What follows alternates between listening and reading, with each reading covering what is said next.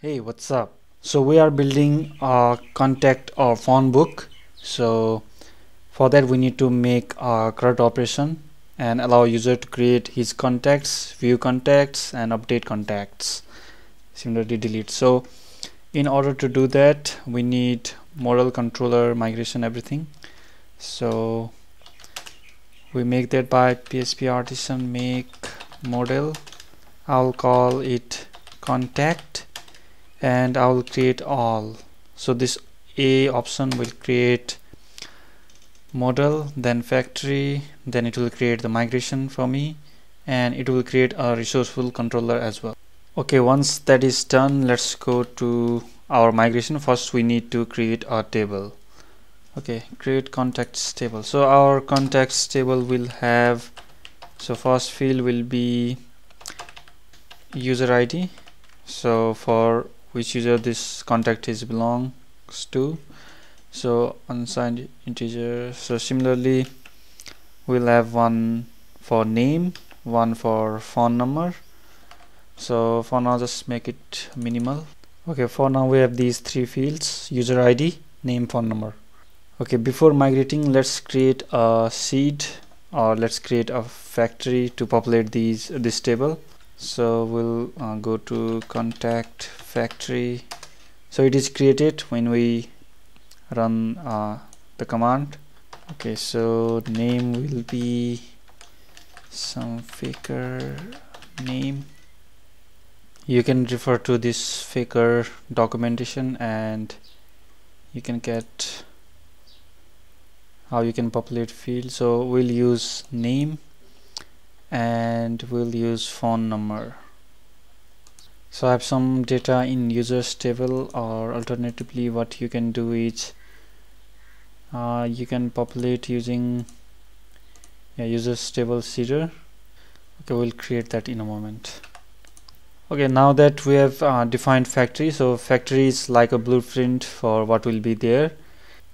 So now once factory is done we need to create a seeder php artisan make seed first we'll create users table seeder. Then we'll create uh, contacts table seeder. There we go. So let's go to users table seeder first. And then run user class. Make 50 of them and then create. So we need to import this as well. Similarly for contacts we'll use same thing but contacts or contact class and we need to import that as well. Okay so this factory helper will access the factory related to this contact which is contact factory so uh, now in database table seeder we need to uncomment this users table seeder and contacts. There we go.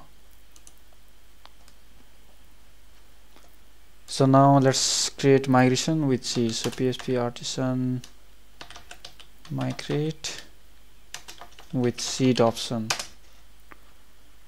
Oh sorry there it was typo in migration. Unsigned integer sorry about that. Let's run again. So this time unknown formatter phone oh I think this is phone number so let's run again. Already migrated seeding users table and contacts table so let's refresh our database and see uh, there are a lot of data. We seeded multiple time. No problem. If you don't want to seed multiple time you can just truncate the table and then seed. Okay so uh, now we have uh, necessary contacts. Okay now we have a, a good amount of data to start. Let's create a CRUD so in order to do that we need to go contacts controller. Contact controller. So uh, for API we do not need this create route because this will show the view because we will be sending request from front end so we don't need create and edit. Okay so now this is the controller and we'll register our route. So context related route. So we'll register them on our api.php uh, and I'll register it here. So there is one method called API resource. So it will register API resource related route okay so let's name it uh, contact. Now let's see the route list. Uh, we got API contact. So if you see here we got store index destroy update. So we do not get edit and create since we deleted that.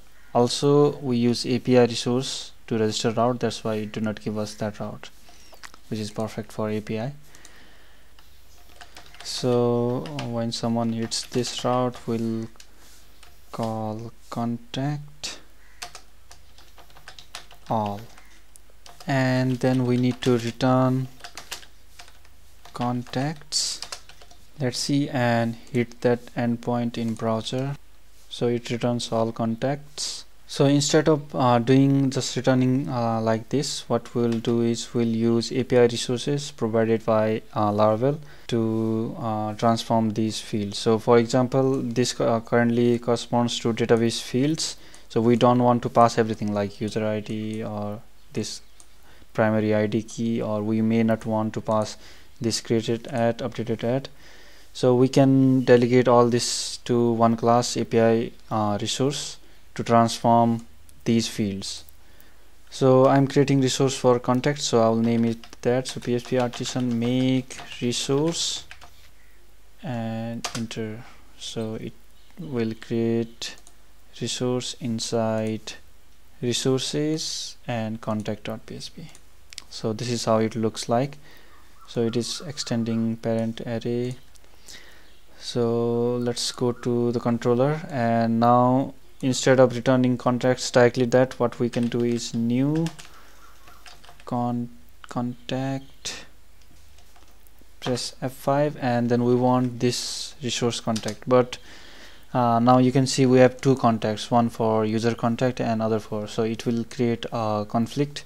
So what I will say it is use this name this as con uh, contact resource okay so now we can use contact resource as a name. So now if we hit this again uh, let's see. So we got this key data and everything will be inside data. So now it is running everything. So we can uh, modify this by going to this contact resource so let's go to this contact resource and instead of using everything we'll use our custom fields. So now what we can do is let's say we want name full name and then we need to pass like this this and this corresponds to name field uh, field in our database. So name similarly for mobile or we can call it phone whatever we like. I'm doing this just to demonstrate what what can be doable. So like this. So now if we hit same route we'll we should see those okay. So uh, here we are returning collection. So we do not we cannot use this uh, like this but we need to call the collection method on this resource so instead of doing this what we can do is double colon collection and then pass that. Now let's do that. There we go. So full name mobile. And then uh, you can provide any information you want so.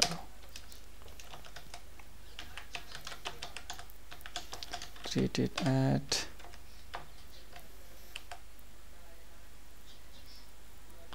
so it it uh, when we pass created it it passed everything like time zone and everything. So here we can modify this string. Okay. So let's see. There we go. So we can even format this. Format so month day year. So you see how flexible uh, flexible this is we can do any operation here which we cannot do normally. Okay so this is it. So instead uh, in this show method what we can do is return contact. And let's see we grab uh, for instance uh, let's send request contact with id 1 there we go. So we got everything. Uh, currently we are not using API resource. So let's use that. So new uh, contact resource. Contact. There we go. So mm, this will so here we have to use collection because we are returning collection. Here we are returning single resource so we can directly use this resource. So now let's go to browser and yeah exactly like we wanted. So index and show are done. Let's do store. So before doing store let's go to let's go to contact model. So here we'll define fillable fields first and also we'll define a relationship uh, with user. Similarly in user we have to define this reversely uh, as many. Okay so now let's go back to contact controller and let's create. So uh, so we'll um, will require authentication uh, will require user to have authenticated before creating contact. So we can get uh, the user who is creating by doing request user. So this will give us user and since we created uh, relation so we can call contacts and then do create. And we can pass request. Actually request all. So this will create a new contact. Contact. There we go so now let's protect everything define relationship here. Let's protect everything with middleware. So public actually function. So we'll create construct and define uh, middleware here. Yeah. So now we cannot access like this I think. Yeah we need to log in. Same thing for update we go to update and then but this time we can directly access contacts. But before doing that we need to check if user is the user who is making this request is uh, author of or this context belongs to the user. So uh, we'll check like this. So if request uh, so if request user uh,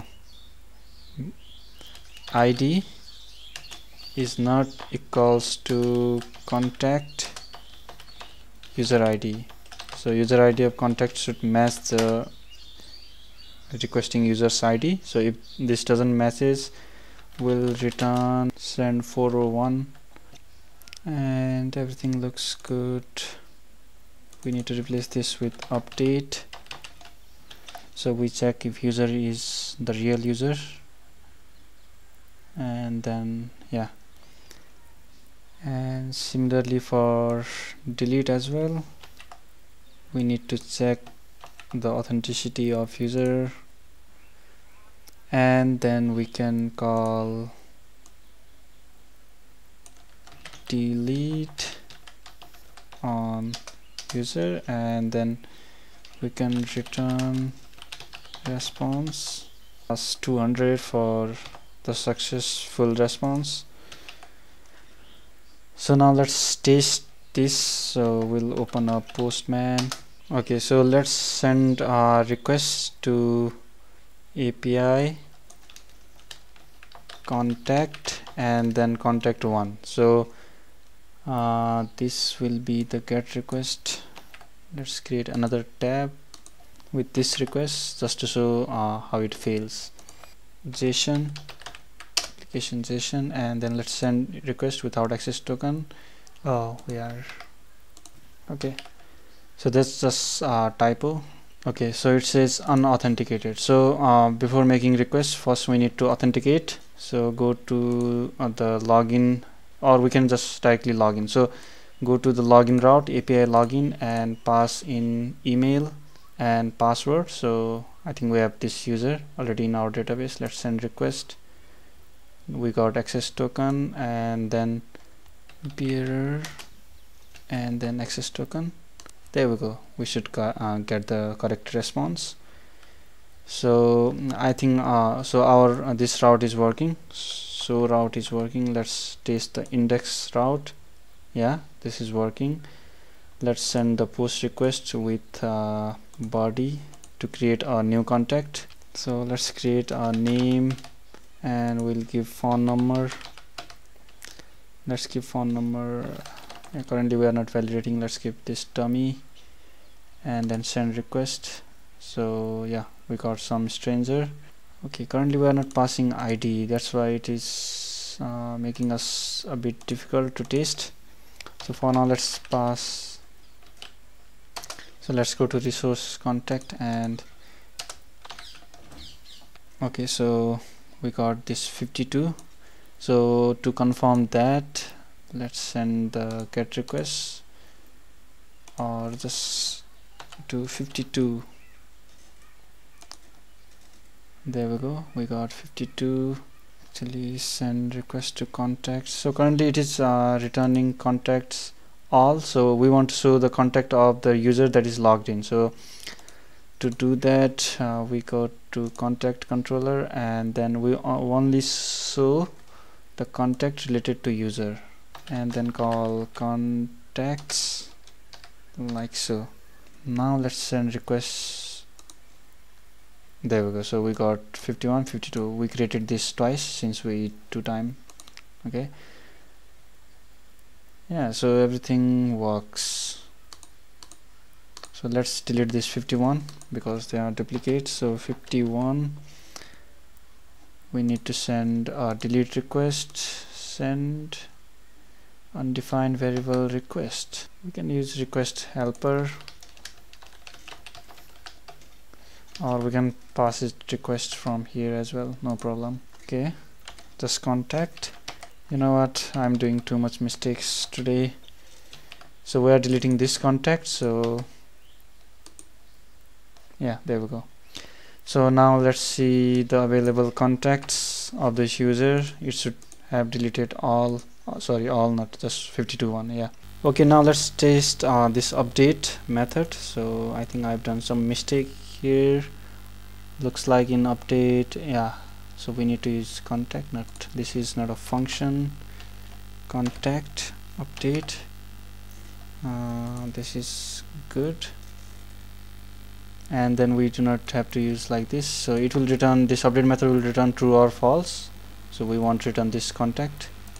Yeah now we are good to go. So let's send a, a patch request to let's update the uh, contact number 52 52 and then we need to send a put or patch request.